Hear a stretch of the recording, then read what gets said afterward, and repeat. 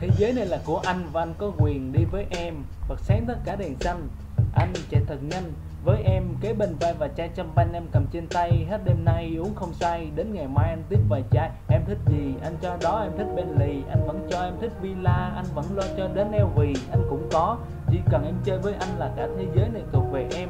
Chỉ cần em đi với anh là những vấn đề của em, anh dẹp Nhưng em ơi. Đó là nếu, Đó là mơ, em vẫn rất keo Thằng Cường nó đi với em trong Ferrari, Còn anh thì kéo Anh lớn lên từ đường phố, Chỗ xe hơi không có đường vô. Chỗ công nhân ăn mì bằng xô, Mỗi khi mưa xuống, nước bằng tô. Chỗ em gọi là căn hộ, Còn chỗ anh họ gọi là ổ.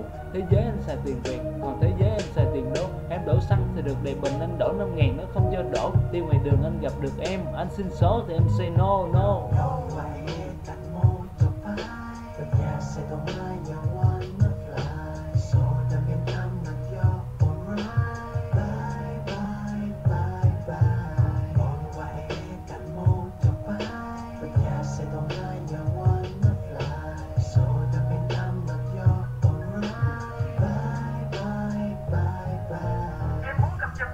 Anh sẽ kêu người hẹn giờ trước.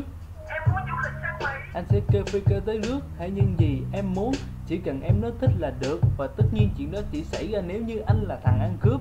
Đơn giản anh không thừa tiền, Không giàu có giống như đại gia, Không thể quen xấu quen người cùng lúc Và xem họ như món hàng đại trà. Vì anh không nhiều của cải, Anh không có nhiều gia tài, Anh không đủ sức cho em. Tiền xài như thằng công tử phố núi Gia Lai, Những thứ anh làm cho em, Tất cả đều xuất xứ bằng tay. Bên cạnh là chiếc xe máy tồi tàn chở em đi học hàng ngày thứ nó mua tặng em nguồn gốc xuất phát từ từ tiền giấy ăn mặc sang trọng có tiền có quyền và đầy người mẫu ngồi trong Bentley anh muốn em là của anh, nhưng cuộc sống lại không cho phép. Khi nhìn đối diện thực tế, kinh phí anh vẫn còn quá eo hẹp.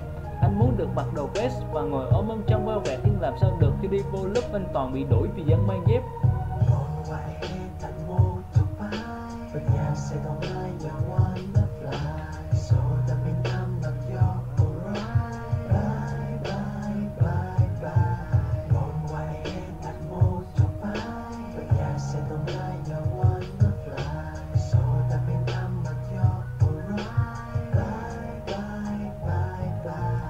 Hết tiền hết bạc, anh không thể cho em được hết phiền hết nhạc là con người anh lúc trước bước cái là nghèo. Anh chỉ sợ em không theo, anh nói trước theo, anh chỉ có cái bụng em thường ngày đói meo.